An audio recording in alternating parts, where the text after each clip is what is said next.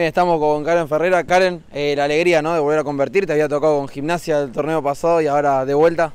Sí, sí. Eh, lo buscamos siempre con Ana porque solamente vamos cuando son corners, así que cuando son corners nos ponemos re felices.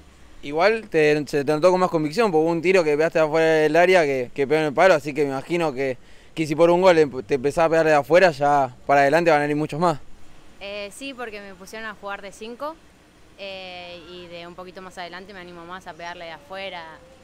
Me animo porque ya he jugado en otras posiciones, he jugado en excursio, he jugado de 8, de 5. Sabía un plantel que lo conocías en Armenio, ¿puede ser?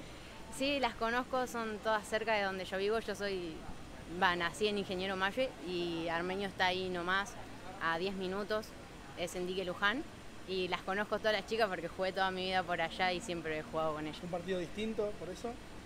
Eh, no, porque siempre hubo mucha rivalidad allá donde yo vivo, es mucha más la rivalidad, así que me gusta jugar esos partidos. ¿Qué te dijeron adentro después del gol? Eh, conozco a una de las chicas que antes era la arquera, que es Michelle, eh, y me dijo, no perdonás, perra. Preguntarte también por la relación con Ana, porque siempre vemos que cuando Ana, eh, que encima es la jugadora que más minutos tiene, la, una de las pocas que no convierte, eh, medio como que hay un chiste ahí de por medio, ¿no? Siempre me dice, déjamelo pasar a mí, déjamelo pasar a mí. Y hoy no te perdono, te dijo lo mismo. Sí, hoy me decía, todas las veces me dijo lo mismo. Entonces el próximo gol va dedicado a Ana, me imagino.